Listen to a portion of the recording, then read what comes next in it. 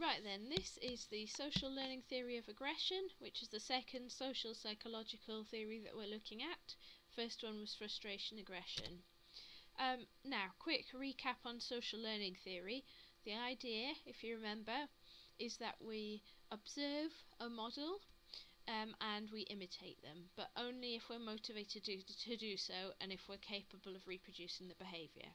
So the idea is that we're motivated depending on who the role model is and depending on how they how their behavior is reinforced. So we're reinforced indirectly or vicariously uh, depending on what the consequences are for our model. So for example, if we see someone doing something uh, like pushing into the dinner queue um, and then they are uh, punished for doing that, then we're less motivated to um, to reproduce their behaviour because we're vicariously uh, punished as well because we observe their behaviour and then we don't imitate them it, because we don't have the motivation we can see that the consequences would be negative so, uh, just uh, these are in your booklet, uh, just some cheesy acronyms to maybe help you remember some of this information in an exam, some of these details.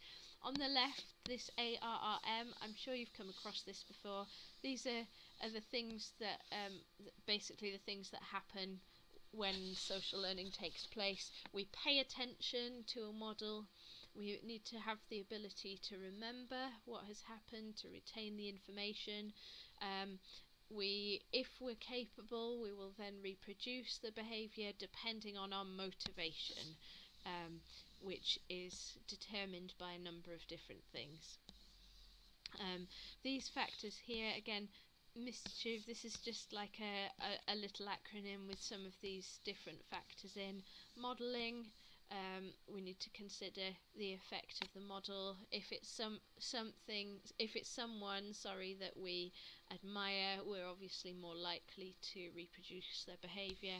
Indirect learning, don't forget about the effects of vicarious learning. If their um, if their behaviour, if the model's behaviour is positively reinforced, then uh, we experience vicarious reinforcement, and so that's what causes us to, to be motivated to reproduce their behaviour.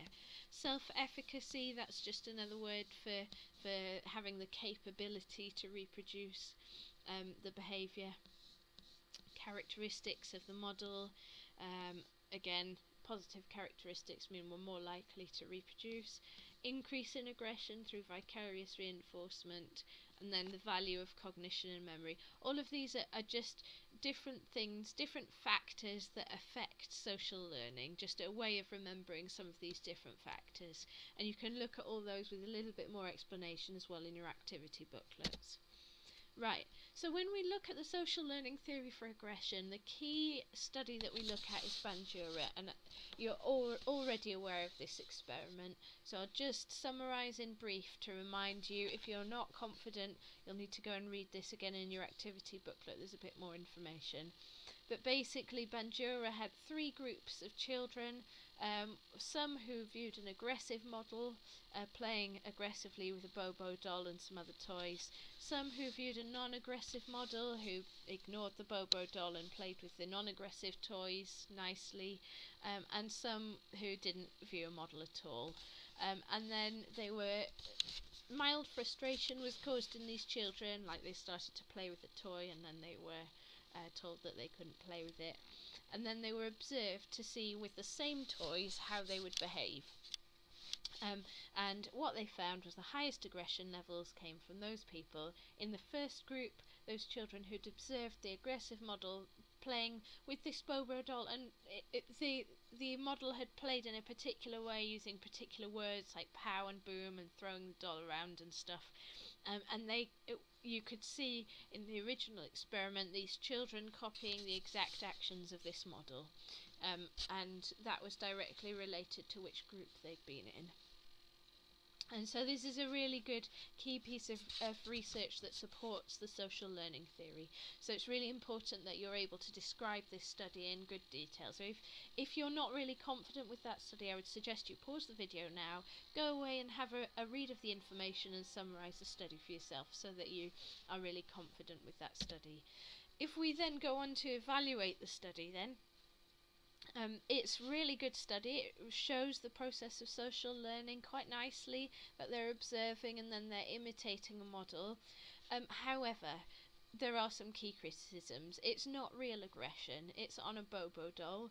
Um, if you think about um, real life, children are taught not to hit other children, and so you have to question whether they would uh, do the same thing in real life if they observe another child hitting another as, as someone else will they go away and copy in the same way you could really question that because they they may well uh, know that they're not allowed to do that in in and they wouldn't necessarily know with a Bobo doll that they're not meant to do that or that it's a negative thing. So it, there's definitely some question about would you have got the same results if you were looking at um, if they were observing a model who was hurting another person.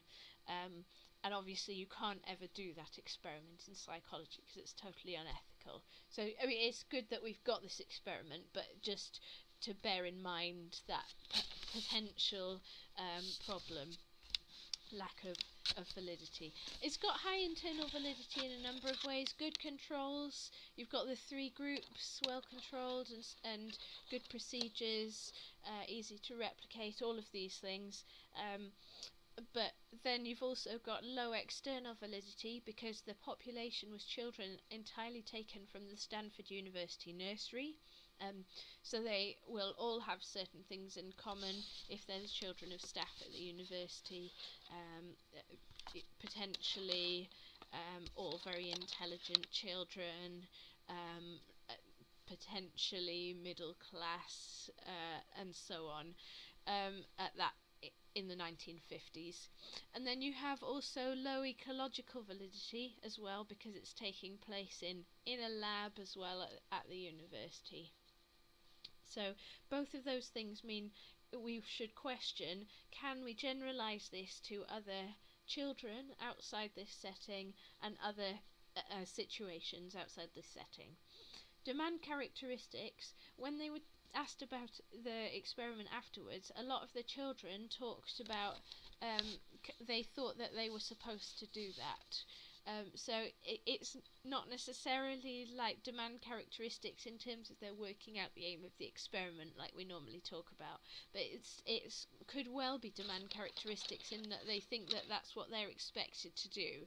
They're watching someone do something, so they think, oh, that's what they want me to do. Um, and there's some quite good evidence if you look into that, um, where you can see that children clearly think that that they were supposed to do it.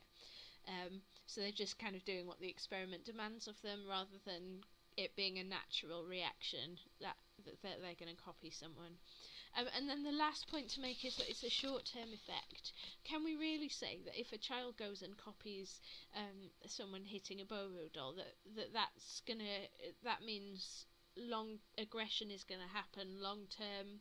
Uh, it is really different looking at the process of of um, a child becoming aggressive, which is, you know, potentially a long term behavioural trait uh, where they're going to be aggressive in a number of different situations, and being aggressive in this one situation where they're copying five minutes later an aggressive behaviour.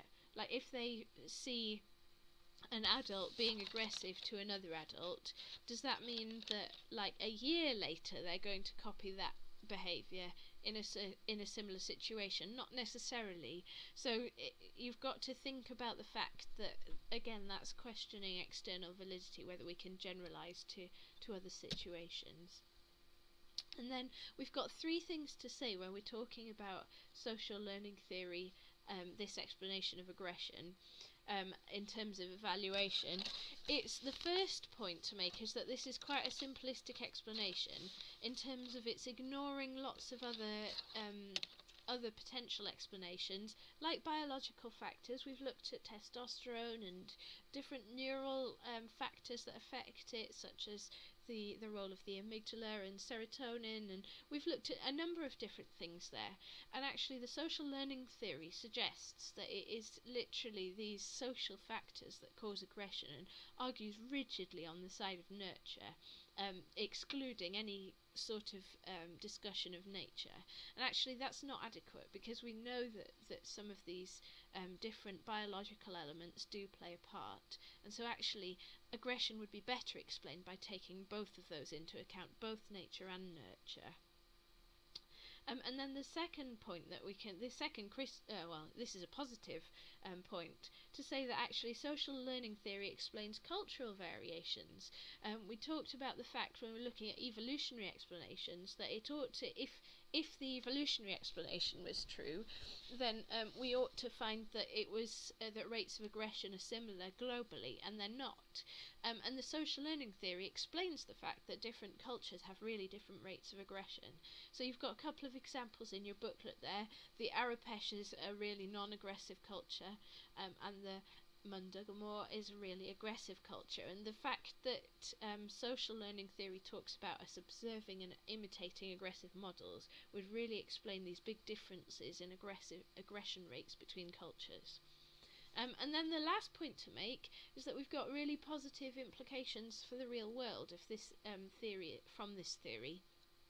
Um, so first of all, we can explain various different acts of aggression that have occurred in real life, murder cases such as people imitating Chucky is in your book. There's also cases of um, people imitating video games with school shootings and stuff that I'm, I'm sure you've probably come across.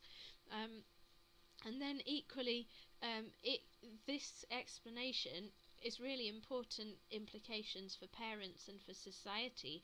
There are some society there there's a society outlined in your booklet that talks about um, th- where they remove aggressive models um, so that uh, other children don't uh, imitate aggression. It's really important for parents so that they can make sure that they're not modelling aggression for their children and um, equally modelling positive behaviours that their children can copy. So that's a really good point from the social learning theory. It's got really positive real life implications that we can really influence the behaviour of the next generation in a positive way to make sure that they don't grow up aggressive.